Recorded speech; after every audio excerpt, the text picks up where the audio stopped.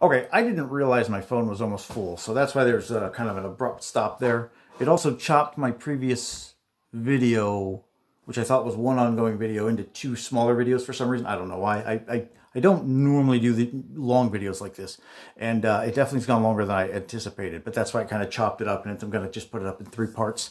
And of course, when I get going about something, that, that I kind of worked up over or passionate about, I, I can uh, just kind of keep going for a while. So, uh, yeah, that's that's kind of where this end, video ended up almost being, or this review almost ended up being as long as the movie. Um, but okay, where I was talking about the sign language scene, and it was a good scene, and I really appreciated that scene, and, and it really raised my hopes for the movie, which of course later were dashed repeatedly, time and time again. Um, but I really like that they went out of their way to show Kong's level of intelligence. Because it was pretty clear early on that, that Godzilla, in just sheer ferocity and capa- and and, and uh, uh, capability of, of, of, inflicting damage, is just far greater than Godzilla or uh, Kong. But Kong can absolutely uh, outthink Godzilla.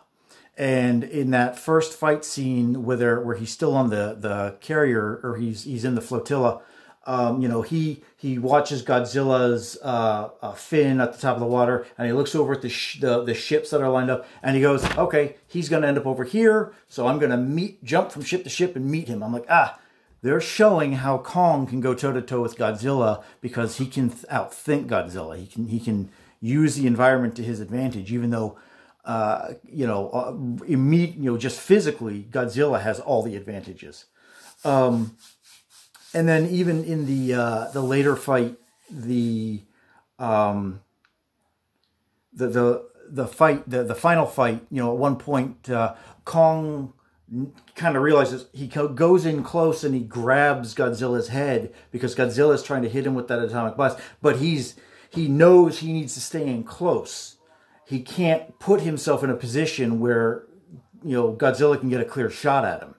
And then when they disengage and Godzilla is at a point where he can get a clear shot at him, Kong just keeps running in circles because he knows he knows I, I got I got to close this distance here and I got to keep moving because I can't risk getting hit by that thing. And when he does get hit by that thing, you saw how devastating it could be. and Kong knew that. He's far more intelligent than than you anticipated and I, like I said, he grew as a character um, that, you know, throughout the movie. He grew more than any other character. Um, so I enjoyed watching that. Um, that was a good, that was good writing on, on the part of the writers. Uh, if only we'd see more of that. Um, and then th- there was that, that final scene where they defeat Mecha Godzilla and Kong is standing there with the axe in his hand and Godzilla's staring him down, and you're like, uh oh, will they or won't they? What's going to happen here? Um, kind of a very tense scene, but I like this scene too. Um, now, of course, what happens is Kong deliberately throws down the axe and just stands there. And Godzilla accepts whatever's going on and goes into the ocean. Now, I think this scene could be interpreted a couple different ways. And the most obvious way is some people have said because Godzilla wasn't looking to kill Kong. He wanted him to to dominate him because I'm Godzilla was I'm the alpha. I'm the alpha titan. Okay, you cannot challenge me for that title, and I need to make sure you need to know you cannot challenge me for that title. That's what Kong was about, and that goes goes to one other thing that I did did really enjoy about the or appreciated and respected is Kong, Kong yeah Kong versus Godzilla, there was a clear winner. And I did not expect that level of commitment from the writers. I thought it was going to be a very ambiguous kind of ending, and then Mecha Godzilla would interrupt and they would team up and then they would give each other a hug on the back. And no, there was a clear winner. Godzilla won. He won. And Kong had no choice but to acquiesce at that point you know, but Godzilla didn't want to kill him. He's like, no, you you will bow to me, basically. Now, obviously, there was a, another chance for Kong to renew that fight um, and possibly even come out on top because Godzilla wasn't in tip top shape either. Um, but I think when, now some people have interpreted the way uh, Kong threw the threw the uh, axe down that he was effectively bending the knee and bowing to, Godzilla and says, "All right, you're in charge." That's not actually how I interpreted that scene. I interpreted as Kong actually almost maturing past this need to be an alpha.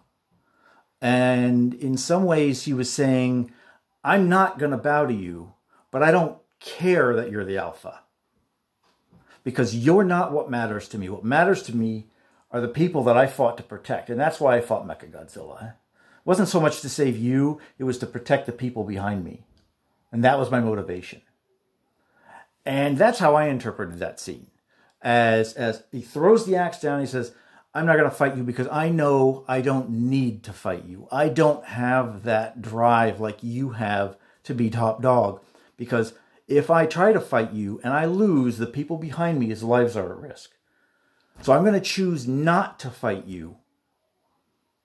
And I'm gonna I'm gonna kind of take the, the the high road because I know not fighting you will give me a chance to protect the people I love.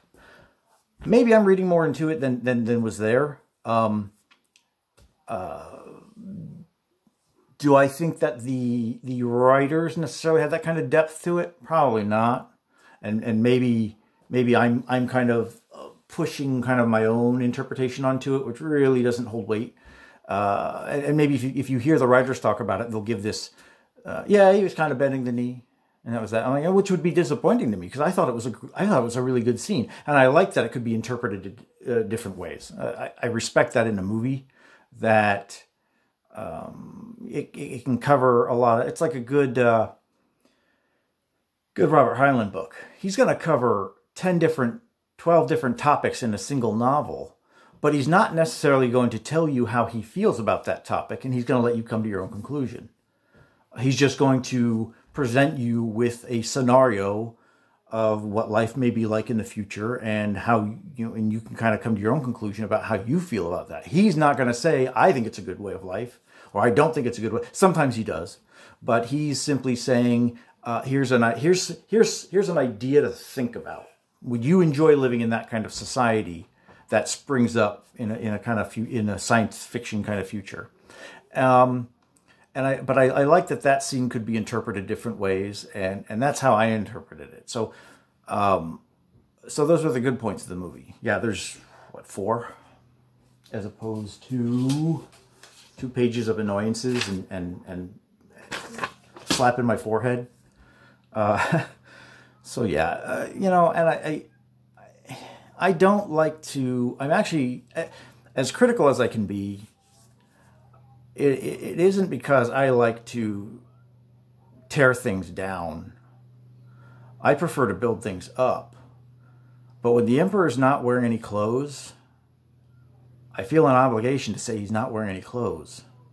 And unfortunately, in this case, it was not a good movie. And I've, I've heard other reviewers rate it who, whose opinions I really respect um, and who criticized it in a lot of the same ways I did.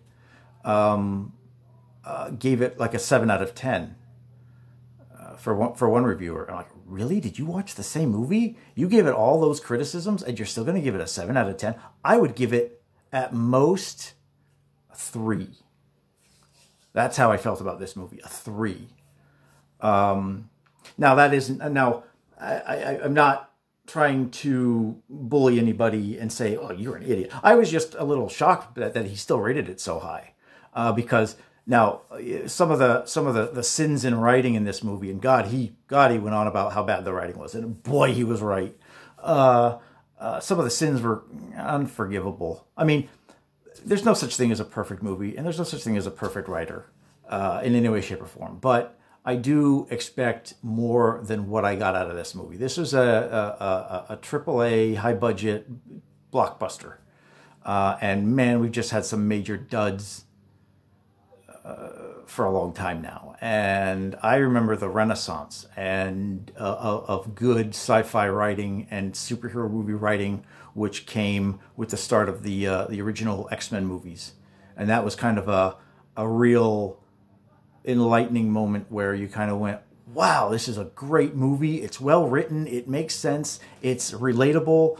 Um, and and even though it's got a comic base to it, you can you can take those characters and put it put them into a modern world without all this comic book stuff, and still believe that it could be possible to have this type of scenario develop.